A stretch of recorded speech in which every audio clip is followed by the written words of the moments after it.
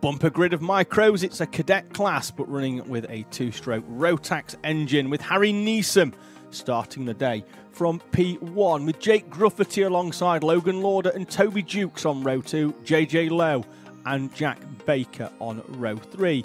Carl McLean and Tyler O'Neill will share row 4 with the top 10 completed by Caden Simpson and James Tate. Aston Brown, the championship leader, he starts 11th alongside the 28th of Daniel Minto with Riley Buckton Young, the driver of the day in this class from fullback, starting 13th alongside Alex Jones with Ella Lucia and Jack Hutchinson completing our 16 runners in Micromax. It's a rolling start for the smallest of the Rotax variants. And we'll uh, make their way round. It's a cadet class, remember, so the same sort of age group as the Hondas. It's uh, 8 to uh, 16 as there's a little bit of confusion there in the back. Looks like Toby Jukes has just carried a little bit too much speed into the back of Jake Gruffety, and he's not in the tram lines, and there's no way we're going to do this one like that because it was uh, everybody was everywhere, and they need to stay in those painted yellow tram lines that are uh, provided by the circuit until they cross over the start-finish line. Then they're able to break formation and uh, go racing. So we're going to try that one once again. Jake Gruffety's going to have to come through because he's currently, I think, down in there in P4. So he's going to have to come through and just retake his position at the front of the pack and get them all into the uh, the correct order once again. So I'm going to have to sort this one out because it looks like Toby Jukes is down there as well. So at the moment they're not in the uh, not in the order that they should be because the 39 is J is uh, is Toby Jukes and he should be in P4 on the outside of the second row.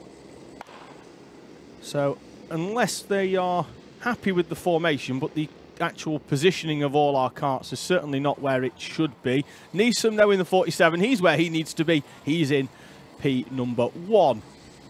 So let's see whether we get this one going, albeit uh, not quite sure it's in the formation that it should be, but uh, the driver's responsibility to make sure they're in the correct position and nobody else. Looks like we could be going racing this time. Nobody's got their arm up to suggest we're going round again, so we are away and racing in Micromax heat number one. And Riley Buckton Young there on the outside of the number 25. That's Ella Lucia going around the outside there, trying to hold on as they make their way down towards Christmas Corner then for the first time in this seven minutes plus one lap race. It looks like we've already had one driver bolt, and it's not the pole sitter. Harry Neeson, there he is in the middle of the pack, battling it out with James Tate in the 20. That's Daniel Minto, the 28, going round the outside into position. We'll clock them as they go over. The 33's Logan Lauder in front of them. As Tate gets down the inside then of Neeson. Neeson doesn't give that one up easily into the uh, left-right complex then. But, uh, James Tate moves safely through. Over the line they come then for the first time in our class here for our Rotax Heat number one. Lauder leading the way then from Daniel Minto as Harry Neeson goes to the inside of the 48 machine of JJ Lowe. They're going to run three or four wide now down into the uh, Christmas corner. Aston Brown is starting to come through, showing his P6 in front of Carl McLean, Alex Jones, Riley Buckton Young, and Toby Jukes. We have 14 on timing, although we did have 16 on the grid at the start of the day. So either we're missing some or some are not getting picked up here at Whilton Mill. Let's have a quick look and see if there's any numbers that we are we're missing. Tyler O'Neill not showing us picking a time up in P14. It was the 12th of McLean. Bounces over the curbs enough to give his head a wobble on the way into that corner. Tyler O'Neill sets the uh, the fastest lap in the 99. I think it's him who's actually out at the front of the pack. showing down there in P14, but there was one driver at the start who just managed, who just balked and just went. The 33 of Logan Lauder holding off James Tate and James Tate trying left and right to get through. Has a helmet tap Lauder just to suggest that they should probably be working together as uh, Tate then gets alongside. Very difficult to tame these youngsters and in, into the racecraft of working together to try and catch those in front when they just want to try and get past as uh, Tate goes slightly wide, opens the gap up though down the inside of Lauder and James Tate comes through. Aston Brown the next driver to try and uh, get his way through on Logan Lauder. The uh, heat uh, round one winner from fullback Aston Brown, who won three of the four races that day. James Tate picked up the win in the other one, albeit on that occasion uh, Aston Brown was struggling somewhat with his engine. That necessitated a change through uh, before the final. He did come through though from pole position to take the victory, but at the moment he's struggling to find a way through on Logan Lauder. And what that's actually doing is backing him up into the pack. Behind him, it looks like there's JJ Lowe and Kyle McLean coming to uh, join this battle. Keep an eye out then for the 48 of Lowe. He's going to push. There he is in the background. And Aston Brown really needs to find a way past Logan Lauder or he's going to fall into the clutches of JJ Lowe behind him and not too far back Kyle McLean as well. Harry Neeson's there and there is uh, Lowe coming through on both Lauder and in front of them it looks like Neeson, um, Brown has already found a way through. So Brown's done what he needed to do there as James Tate comes down the inside of Logan Lauder and Kyle McLean as well. So not the not the best lap there for Logan Lauder. He's lost a number of places and all of that was set up from the earlier part of the lap where he got overtaken, the door got open, it compromised his line on the exit into the boot corner, and then uh, everything else round pit bend and all the way up.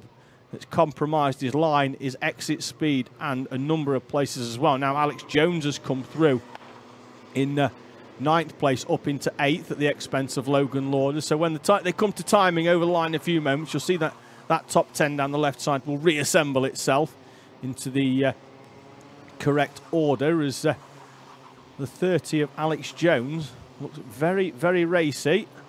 Not, not, not the, uh, not the tidiest of line there round the pit bend corner, but carrying a huge amount of speed. The top two moving away. Then there's only eight tenths between Tyler O'Neill and Daniel Minto. Then we've got quite a gap back then to James Tate and JJ Lowe. This is the battle behind between Harry Neeson. He's in sixth with McLean and Jones behind.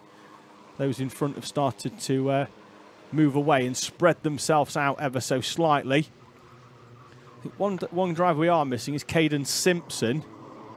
Certainly on timing, and haven't seen him out there on track. He's got a blue and yellow kart running in very similar livery to the uh, Lando Norris kart livery out there on track. But I haven't seen him. We'll just keep an eye on him later on when we go to the checkered flag and see whether he does come over and see where he slots in. Either we're missing him on timing or he's just not out there on circuit. Well, as I say, we'll keep an eye on that one as Neeson holding off Kyle McLean and Alex Jones as James Tate goes defensive, holding off JJ Lowe. This is the battle for third place. Tate in third, Lowe in fourth. Aston Brown not too far back.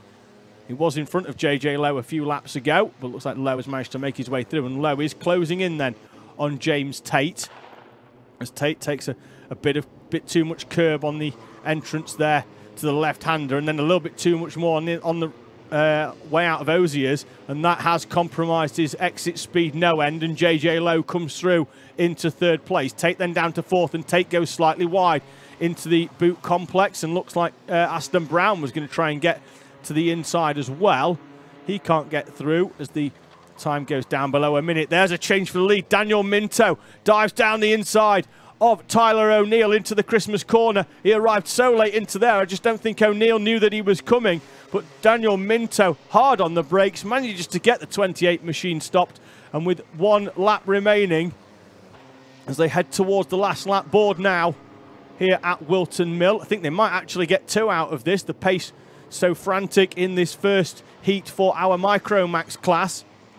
And they definitely will get round the boot complex and round pit bend before the time elapses. So we are going to get two more minutes, but Daniel Minto, who has been closing in on Tyler O'Neill, has actually opened up three or four kart lengths round the crook corner. And let's see whether O'Neill can get a good exit and get in the slipstream of Daniel Minto. Try and return the favour down into Christmas corner. Not close enough this time. The time elapses, so it's going to be half a lap plus then the last lap. And Tyler O'Neill goes to the inside again. Half a move down the inside of Daniel Minto. Minto runs wide over the rumble strip on the outside and has a quick look over his shoulder to uh, assess whether O'Neill is still there. He is. He is showing on timing once again as being one lap down. And this could potentially be where they're coming over start the start finish line here at Whilton Mill. If they come running wide over the uh, rumble strip. They might actually be missing some of the timing loop, but he's definitely still there in second place. Last lap board out then here in Micromax, heat number one, and leading the way, Daniel Minto from Tyler O'Neill, the top two. And O'Neill now noticeably closer than what he was on the previous lap. And Daniel Minto noticeably more defensive as they go down into Christmas corner. Parks the 28 pretty much following that line of the tarmac down the middle of the track. Daniel Minto defensive, looking left and right to see where Tyler O'Neill is. Can O'Neill spring a surprise? The only real overtaking opportunity now is where they're coming up to for this corner. Line it up round Oziers. Get a good run on that curb and then throw it down the inside into the boot corner. O'Neill goes for the move down the inside. They're side by side into the boot. They're still going to run side by side. Can O'Neill get the cutback? No, McLean stamps hard on the brakes mid corner. Runs O'Neill wide onto the final complex and Daniel Minto holds on for victory in heat number one.